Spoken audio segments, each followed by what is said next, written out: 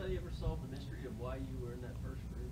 Nah, I don't know why. Like, cause they they just kind of I guess messed it up or something. Cause I heard like they had a D tackle in the end group as well, and then they had me with the nose and, uh, and the, the tackle. fascinated by that. Yeah, I don't know how that happened, but they kind of just messed it up. But kind of relieved now that all the, uh, I guess the meat market aspect of this is kind of over with for you? uh, no doubt, uh, for sure. Um, just you know, finally getting like the combine over with, and you know the pro days, and just you know the work isn't done yet because we still got to work out for teams and stuff like that. But as far as testing goes, you know, that I finally getting that out the way, and you know that was kind of just like sigh of relief for me. So. At the last, I guess, what, probably like three months now, I mean, how, how much does that weigh on you just every day? And I gotta shave a little bit off of this or try a little bit more of this. How, how tough is it? Yeah, and it was really hard for me just because, like, I had to gain, like, 10, 10, 15 pounds, like, since the season ended. So, like, it was kind of hard. I was kind of, like, skeptical because I didn't know, like, if I was going to be able to still run fast, like, with the added weight and, um, you know, just, you know, making sure that I was having, like, a good time, you know, when I went out there and ran my 40 and, you know, a bunch of other stuff was just, you know, real key for me. What do you want? Right now, I'm about, like, I weighed in at 248 today. Like, I left here, I was probably, like, 230, 235 around there, so. Much of, uh, going on this board work today, the actual football, the testing stuff they're doing, but just talks about football, see how much you understand.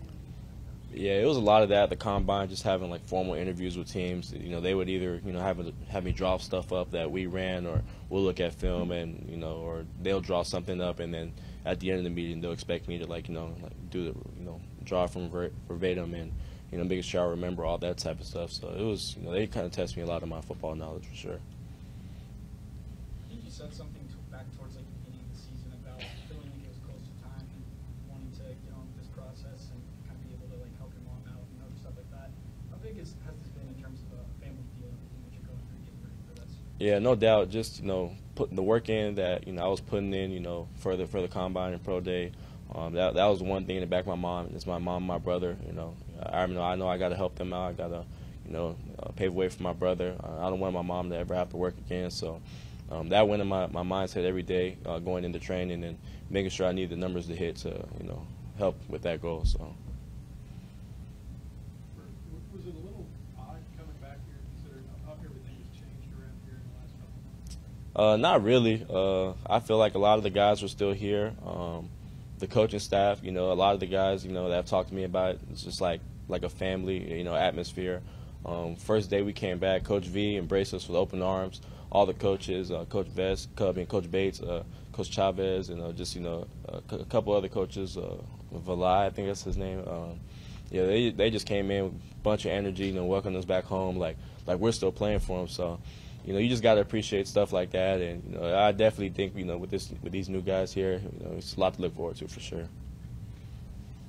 Now that you're at the next step, looking back at the last year, is NIL a good thing for the game?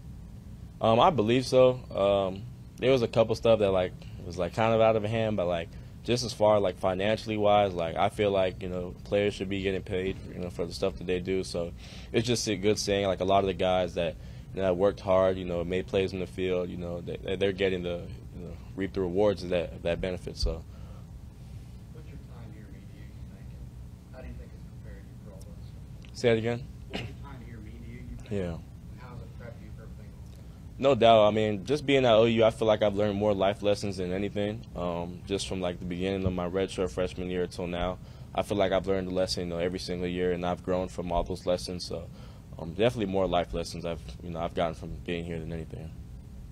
We're on stage two weeks ago to combine. What you, what is something like today mean for someone like that? Uh, it was, it was, yeah, it was really big. You know, he hit he hit a lot of the numbers that we wanted to hit. Um, we got a group chat, so you know we'd be talking about you know stuff that we wanted to hit and things like that, of that nature. So, you know, he hit a lot of the numbers that he wanted to hit. Um, he, you know, he's a hard worker. You know, he's a guy that you know I knew when his time came to for doing a pro day or some sort like that. You know, he was going to crush it, and you know, that's what he did today. So, you know, hard guy, hard working guy like that. You know, he saw it paid off today.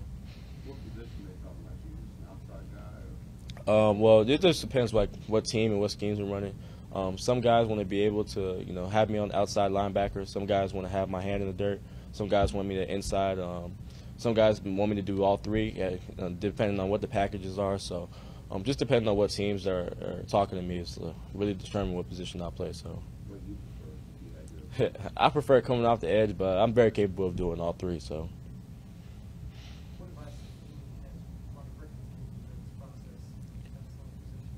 yeah. Hmm Um, mostly just taking it one day at a time and enjoying the process. You know, don't get too anxious. Don't have to worry about draft night and all that stuff. Just enjoy the process. You know, enjoy just you know trying to get better. Um, trying to, you know, just you know overall just you know just work on things you need to work on and you know don't worry about the uncontrollables with draft night and all that stuff. One thing you somebody how do I pick a school? What'd you learn? You, were Mike Stoops, Riley, coaching staff. What, what advice would you give a kid who's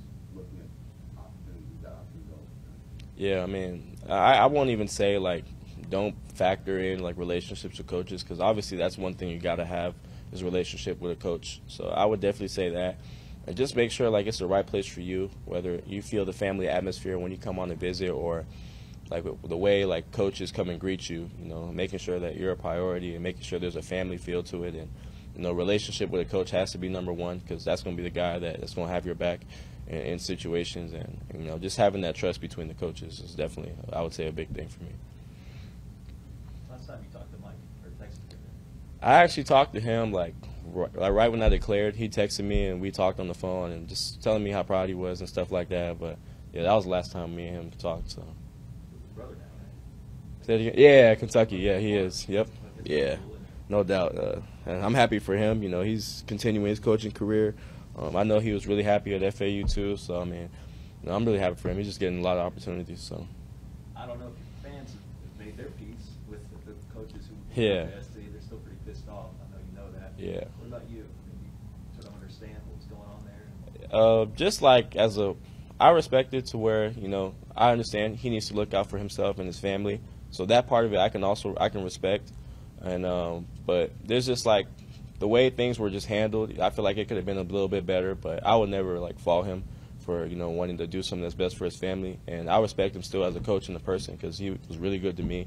He's helped me with a lot of stuff, and as long as well as Coach Grinch. So You heard from any of them lately?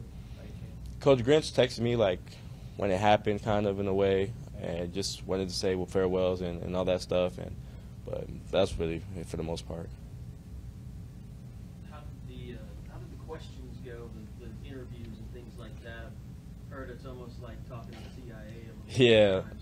Uh, and, and going through that process, does it kind of teach you how teams view you and make you kind of understand, okay, well, I really do need to kind of work on Yeah. this? Well, no doubt, because going into meetings, like teams automatically know like your track record, you know how you've been as a person when you when you've been here, um, things you've done in the past. You know they know your weaknesses in the game, so they're gonna do things to try and like kind of piss you off a little bit. So um, they're definitely gonna try and you know get a reaction out of you, see how you react to certain stuff that they say, and um, but at the end of the day, they're just trying to get to know you as a person because they're trying to bring you into their building, so they want to know the guy they're bringing in. Was there anything shocking that came up in, in any of your interviews that were just kind of like, I can't believe I'm being asked this? I mean, it was just like a couple stuff, like um, I don't know, like the Vikings. The Vikings like asked me a really weird question. I don't know if I can say it out here, but like, yeah, nah, I don't, nah, I can't. But I mean, there there was definitely some weird questions for sure. Like, was it about football at least, or was it no? Nah, nah, Now you really got it. yeah, it threw me off a little bit for sure. You it, though? Yeah, I think so. Shoot, I don't know. For more information, you can visit tulsaworld.com.